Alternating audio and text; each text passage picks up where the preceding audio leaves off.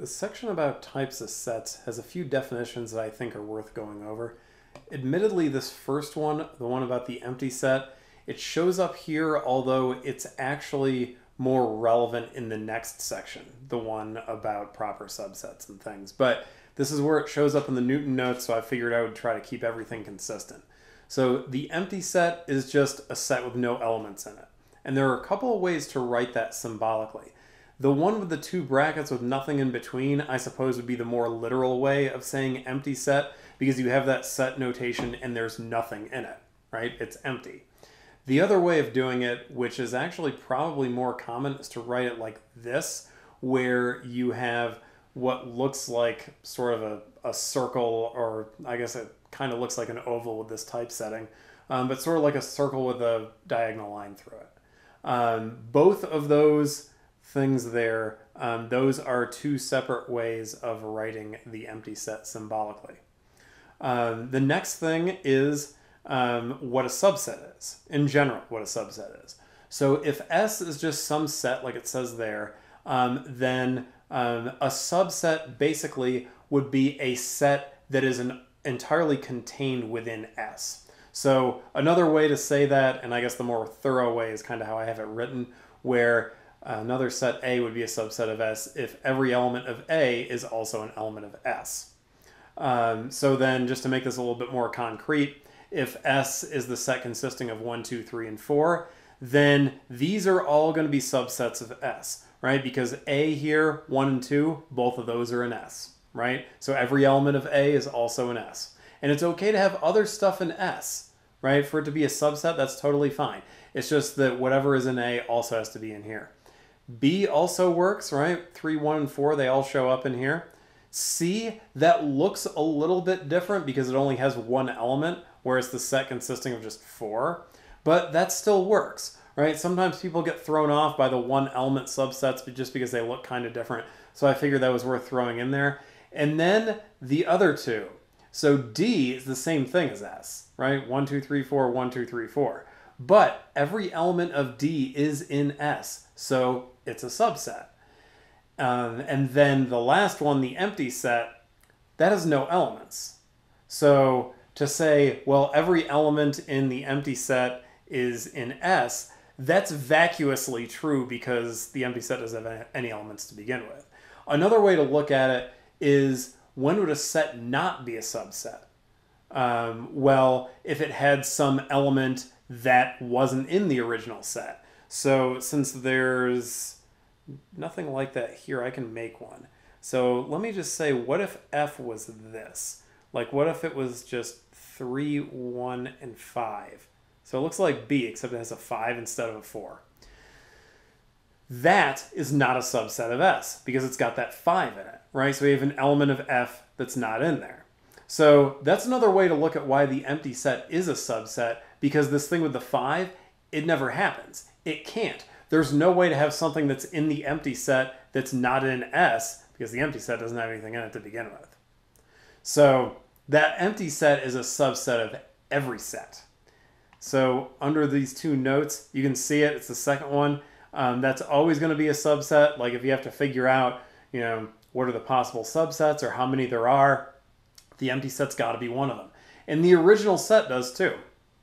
So any set is going to be a subset of itself because anything that is in a set would therefore be in that set, which sounds like I'm talking redundantly, which I kind of am, but that's why it works, right? Um, by definition, that still holds up. Even though usually when you think about set, subsets, you think about things like A or B or C probably, where it's part of S but not the whole thing. And that is a subset, but it can also be the whole thing. All right, next, a universal set. Um, this terminology actually means something a little bit different if you go farther into set theory, but we'll go with it. Um, so a universal set would be one that contains all elements of interest. So a lot of times those are sets consisting of a bunch of numbers, like the set of all natural numbers could be a universal set, or the set of all integers, or the set of all rational numbers, things like that, set of all real numbers, right? All those things we had in that first set of notes, um, like right at the beginning of it, those would all work. Um, but then just to have one that's not numbers what if the universal set consisting of all communities in Cochise County that are classified or designated as cities? Like that's going to be our universal set. There are only six that have that city designation, um, and they're right there. So Benson, Bisbee, Douglas, Sierra Vista, Tombstone, Willcox. So then, if we want the subset um, consisting of cities that start with a B, right, we can take subsets out of this universal set pretty quickly, right? You just go, all right, what's the first two? Yep, that's it. Um, and then the subset S consisting of cities with a Cochise College campus would just be Douglas and Sierra Vista. And if you've been to the Douglas campus before and you're looking at that and going, that's a bit of a stretch to say that's in Douglas. I would agree with you, but it's labeled as being in Douglas. So even though it's way outside of town, we're going to say it's in Douglas. Um, I guess if you wanted to have a different one for the centers, because um, Benson and Willcox have centers, right? You could make that. Um, and so then you would have a set consisting of Benson and Willcox. So you can do stuff like that too.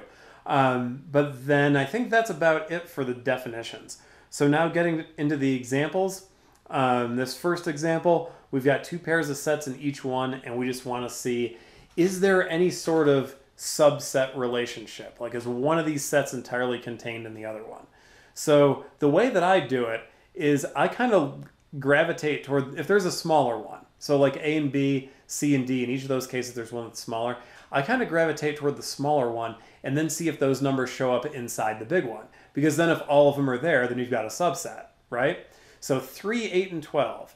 Well, there's 3, there's 8, and there's 12. So it looks like we're good, right? It looks like what we've got is that A is a subset of B. So A is a subset of B. All right, and then if we go the other way, um, so with C and D, I'm going to go right to left this time because D is smaller. So let's see if we've got them. So M, that's right there. P is at the front of C. R is right next to the P, and then Z is right there. So yep, everything that's in D is also in C. So D is a subset of C. And certainly you couldn't go the other way, right? Um, C is not going to be a subset of D because you've got a couple of elements of C that don't show up in D, right? The X and the B, that would throw that off. Same thing with part A. You couldn't go in the opposite direction because B has 4 and 11 in it. They're not an A, so B is not going to be a subset of A. And then what if we go down here? We look at P and Q. Um, well, they're the same size, so let's just see what's in common, right? So P's got a 2, Q's got a 2, and then they both have 6s. I guess I could underline those. But other than that, they're different, right? P's got a 4 and an 8. Those don't show up in Q. Q's got a 5 and a 9. Those don't show up in P. So this is a situation where it's neither. So, so neither. And I guess I can write this out like the other ones. So I'll say P is not a subset of Q. And then I'm going to do this the lazy way with the, the, quotation marks that Q is also not a subset of P.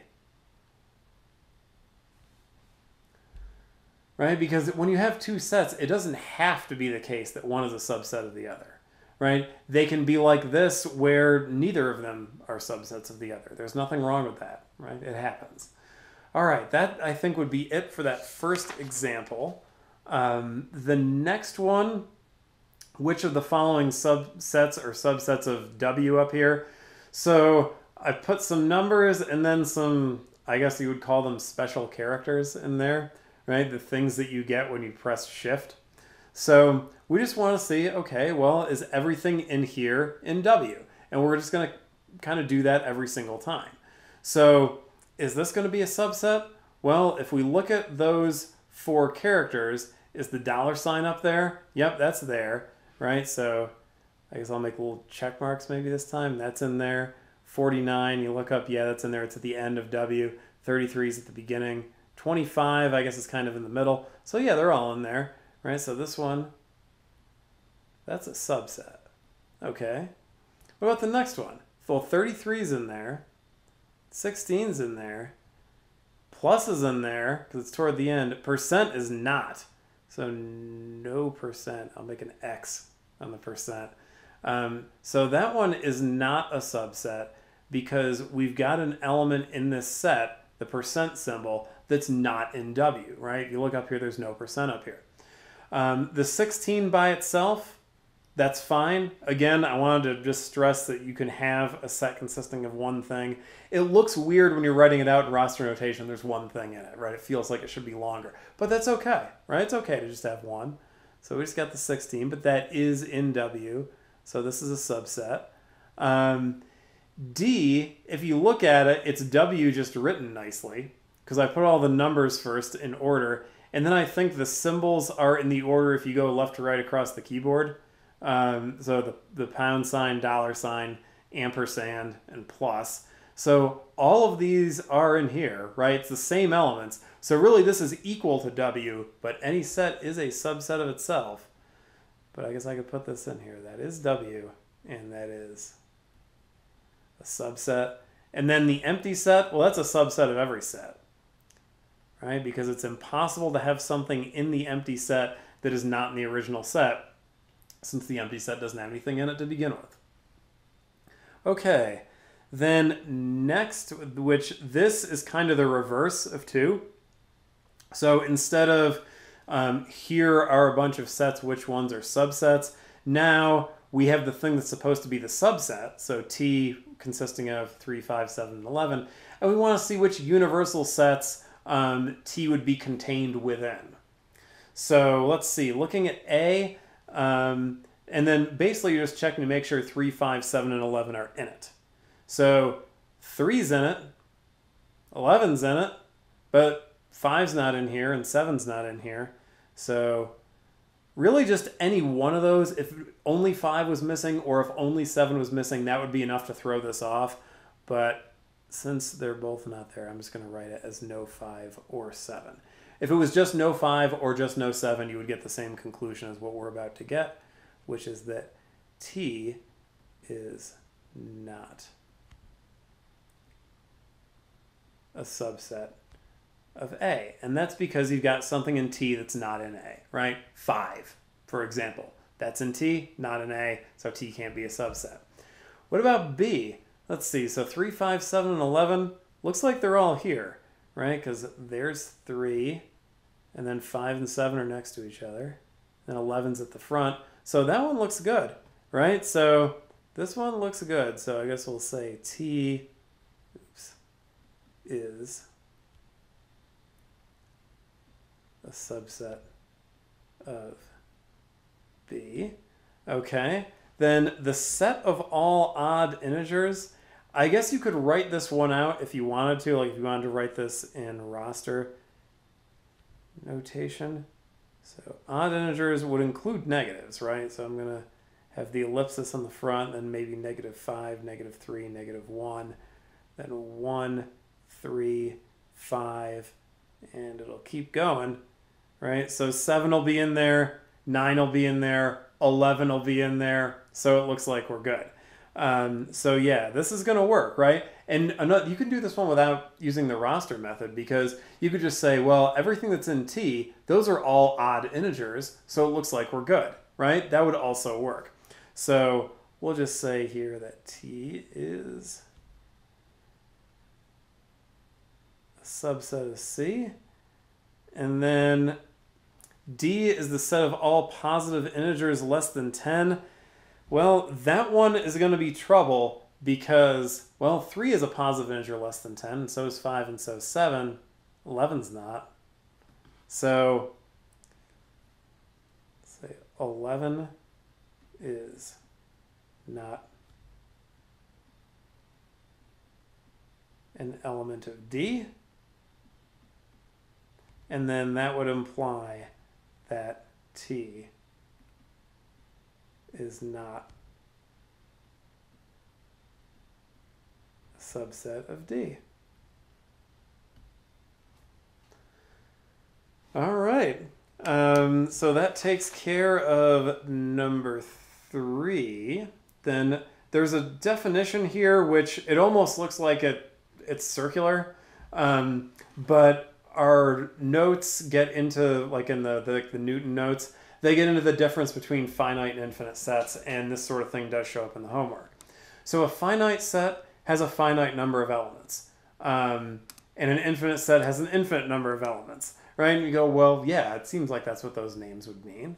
Sure. Um, so what that would mean is that if you wrote out a finite set um, using the roster method, you would be able to eventually stop, right? Like maybe it's real short, you only have four elements, it doesn't take that long to write it out. But you know, you could have one with 50 elements, that's still finite. Um, and then if you wrote out a set using the roster method and you couldn't stop, right? Like eventually you just had to put an ellipsis in there and say, you know, I'll never be able to finish, then that's infinite, right? So um, of the possible um, universal sets in three, which are finite and which are infinite, okay, well, if we go back up and look, um, A and B are obviously finite, right? Because you look at this, you go, that's got six elements in it. This has eight. Um, and then this has nine, right? Because if you were going to write out D, it would just be the set consisting of 1, 2, 3, 4, 5, 6, 7, 8, 9. This is infinite, right? Because you couldn't write out the set of all odd integers. This would just keep going indefinitely in both directions, right? Positive and negative.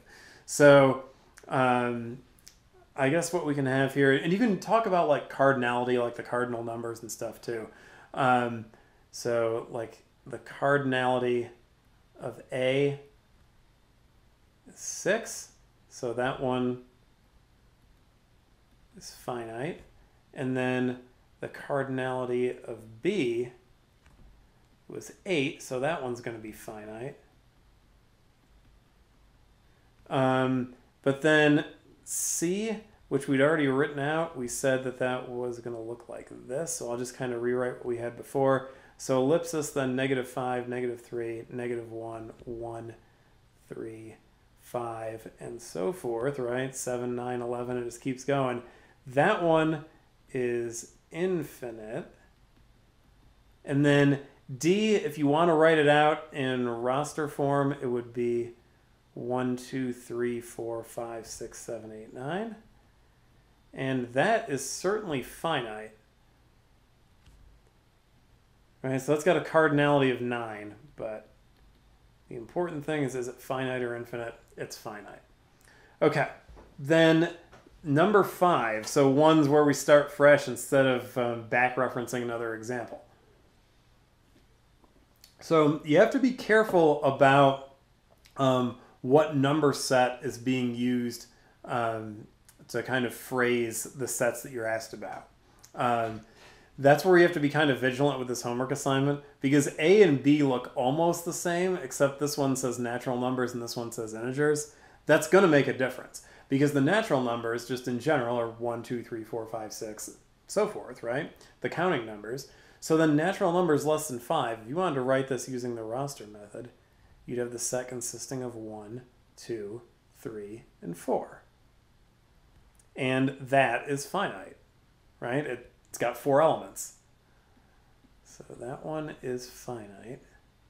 Then the set of all integers less than 5. This is where you got to be careful. 1, 2, 3, and 4 are in there, sure. So is 0, and so are the negative integers because any negative number is less than 5, right? So negative 1, negative 2, negative 3, all those got to be in here too. So if you're going to write this one out, I guess really it would look something like this. So have the ellipsis, then negative 3, negative 2, negative one, zero, And then you'd have one, two, three, and 4. So on the higher end, it does stop, but on the lower end, it just keeps going, right? Because all the negative integers are going to satisfy this. So infinite.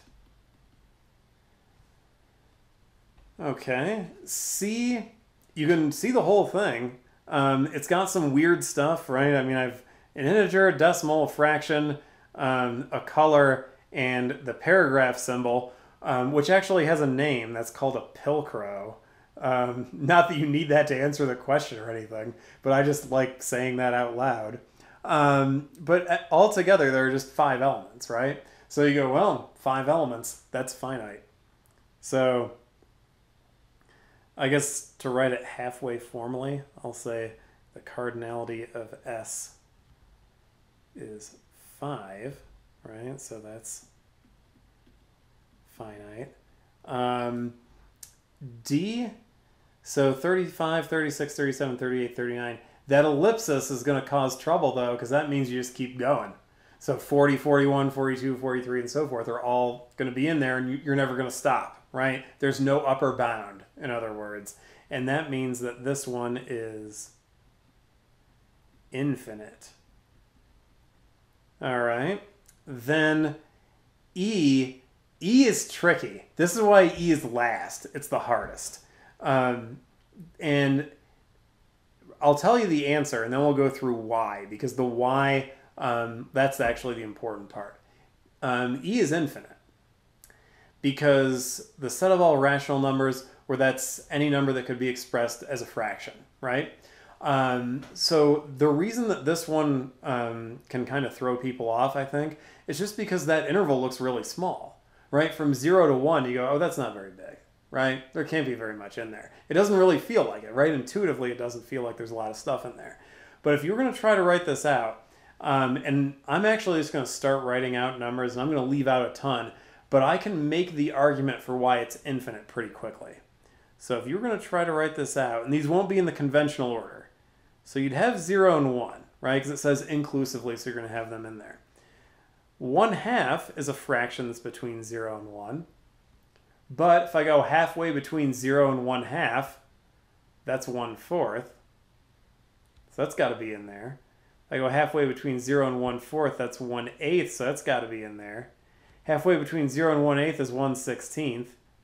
That's in there. Halfway between 0 and 1 16th is 1 32nd. That's in there. Um, so you could just keep doing that. You're never going to run out.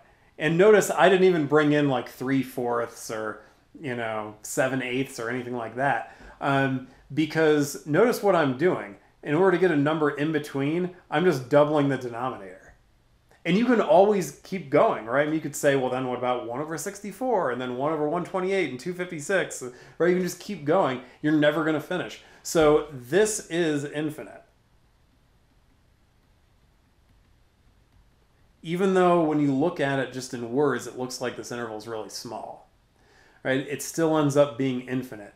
Um, the term for it is density, right? Like between any two rational numbers, you get another rational number, right? Because you could always um, basically just average the two and you're going to get another one um, and you can express it as a fraction.